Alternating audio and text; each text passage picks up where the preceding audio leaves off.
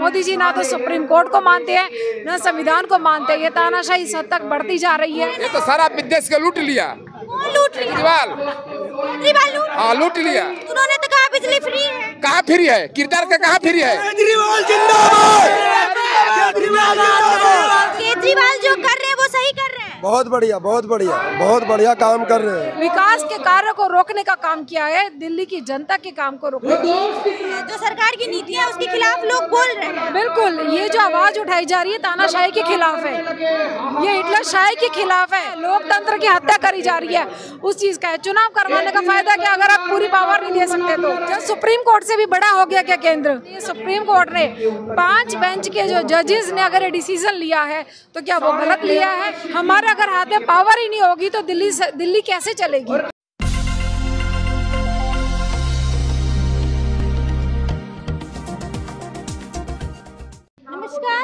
अभी दिल्ली के रामलीला मैदान में मौजूद हूँ। आप सभी को मालूम होगा कि केजरीवाल सरकार ने, आम आदमी पार्टी ने 11 जून यानी कि आज के दिन रामलीला मैदान में आम आदमी का महासभा रखा है, जिसके मुद्दे हैं नोटबंदी। जो अध्या अध्यावेशन जो दिया गया था आम आदमी पार्टी को, एलजी के लिए तमाम मुद्दे हैं केजरीवाल सरकार के, जैसे कि केंद्र सरकार की तानाशाही के खिलाफ, यानी कि लोगों ने नारा लगाया है। केंद्र सरकार तेरी तानाशाही नहीं चलेगी नहीं चलेगी। यहाँ पे तमाम लोग मौजूद हैं। आप अगर उधर देखेंगे तो यहाँ से दूर दूर तक ये स्टेज है। ये स्टेज पे अभी केजरीवाल बात कर रहे हैं। ये स्टेज और देखिए कितना जो लोगों का हुजूम यहाँ पे मौजूद है, महिलाएँ, युवा, बच्चे, बूढ़े, बुज़ुर्ग, सभी लोग, तमाम लोग यहाँ पे मौजूद हैं। बड़ा हुजूम आया है, जन सैलाब है यहाँ पे। हम तमाम लोगों से बात करेंगे कि क्या ये हुजूम केंद्र सरकार की तानाशाही, जैसा कि ये लोग कह रहे हैं, उसको बंद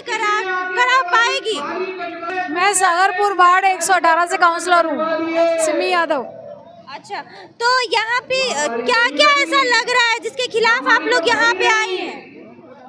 देखिए जो मोदी जी द्वारा जो तानाशाही सरकार चलाई जा रही है उसके खिलाफ में हम यहाँ पर आए हैं। आठ साल के संघर्ष के बाद माननीय सुप्रीम कोर्ट ने जब दिल्ली की जनता के अरविंद केजरीवाल जी के हक में ये फैसला दिया कि अब से जो नई जो जो वैकेंसीज निकलेंगी, जो भी ट्रांसफर्स होंगे, जो नई, जितनी भी नई पॉलिसीज़ होंगी ब्यूरोक्रेट से रिलेटेड वो सब दिल्ली सरकार के हाथ में होगी, दिल्ली के मुख्यमंत्री के हाथ में होगी।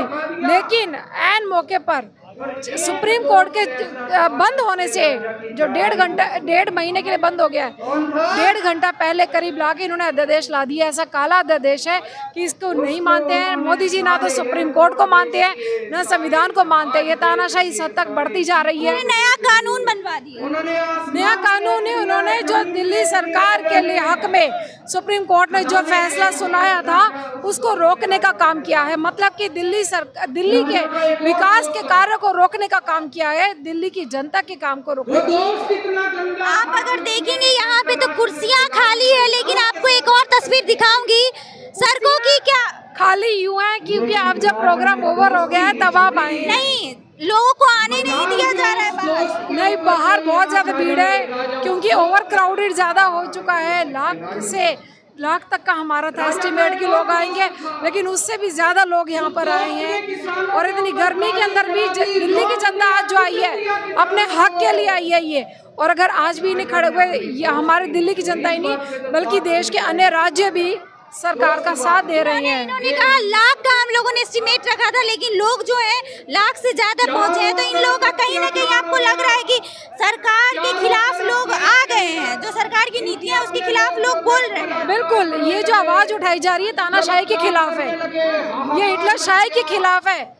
कि अगर आप संविधान देश में है, लोकतंत्र की हत्या करी जा रही है, उस चीज़ का है। चुनाव करवाने का फ़ायदा क्या, अगर आप पूरी पावर नहीं दे सकते तो? तो 2024 में दिल्ली की जनता पूर्ण तरह से आवाज़ उठाएगी और मोदी जी का जवाब देगी। केंद्र में तो राज्यपाल का चलता है। केंद्र में चलता है लेकिन केंद्र अगर फिर से इंटरफेयर करेगा जब सुप्रीम कोर्ट से भी बड़ा हो गया क्या केंद्र? सॉरी केंद्र शासित प्रदेश जैसे कि दिल्ली केंद्र शासित प्रदेश है वहाँ राज्यपाल ही रूल करता है। लेकिन राज्यपाल के अंदर में जो फोर्सेज है जो ब्यूरोक्रेट्स है वो उसमें रहने में क्या दिक्कत? आठ साल के बाद अगर सुप्रीम कोर्ट ने माननीय सुप्रीम कोर्ट ने पाँच बेंच के जो जजेस ने अगर डिसीज़न लिया है तो क्या वो गलत लिया है? ये देश के संविधान को बचाने के लिए डिसीज़न लिया गया है। देखिए, ना तो लॉ एंड ऑर्डर अपना। हमारे अगर हाथ में पावर ही नहीं होगी तो दिल्ली से दिल्ली कैसे चलेगी? दिल्ली के विकास को काम को रोकने काम किया गया है। मोदी जी को कहीं ना कहीं दिक्कत है फ्री बिजली से दिक्कत है फ्री पानी से दिक्कत है। जो महिलाओं को फ्री ट्रैवल किया जाता है, मोदी जी को उससे भी दिक्कत है।